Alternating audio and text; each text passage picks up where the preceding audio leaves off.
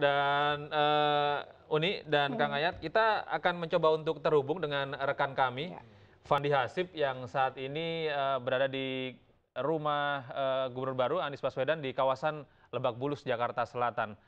Selamat pagi fandi. Selamat siang fandi. Bagaimana situasi terkini di sana? Apakah sudah ada pergerakan atau rencana bahwa anies akan menuju ke lokasi di eh, Sunda Kelapa rencananya. Ya?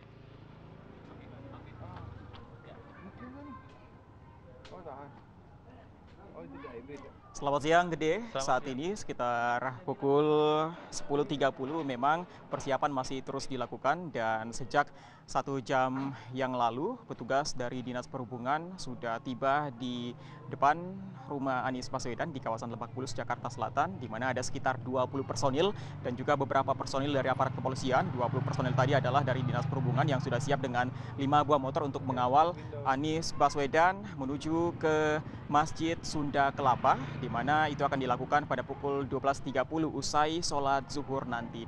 Dan di sana seperti informasi yang sudah beredar gede bahwa di Masjid Sunda Kelapa Anies Baswedan akan bertemu dengan Wakil Gubernur DKI Jakarta Sandiaga Uno dan kemudian akan melanjutkan perjalanan ke Istana Negara dan mengikuti pelantikan yang rencananya akan digelar pada pukul 16 atau pukul 4 sore nanti di Istana Negara yang langsung akan dilantik oleh Presiden Joko Widodo. Nah, tadi terkait dengan eh, persiapan gede kalau kita tahu ini Anies Baswedan memiliki empat orang anak namun informasi yang kami dapatkan tadi bahwa hanya selain istri dari Anies Baswedan yaitu Ferry Farhati Ganis Baswedan ada juga salah satu anak yang akan ikut.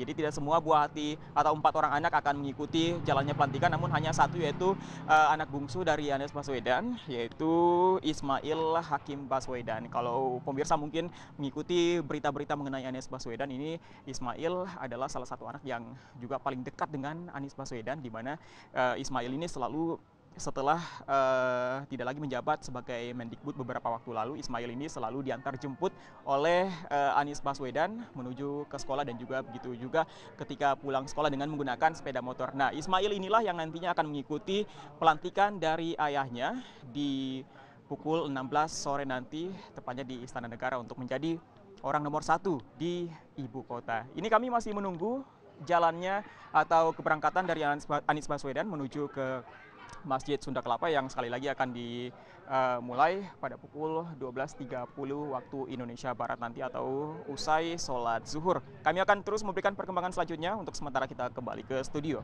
Gede.